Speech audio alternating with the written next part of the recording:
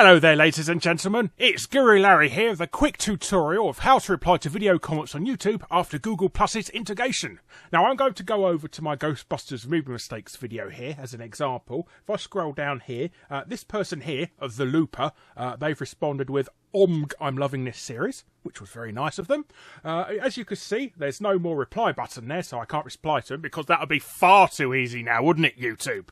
So uh, instead, what you need to do is uh, scroll up a little bit, go up to this uh, share your thoughts box, uh, click on that, and now start the conversation by pressing the plus key, and then slowly start typing in their name.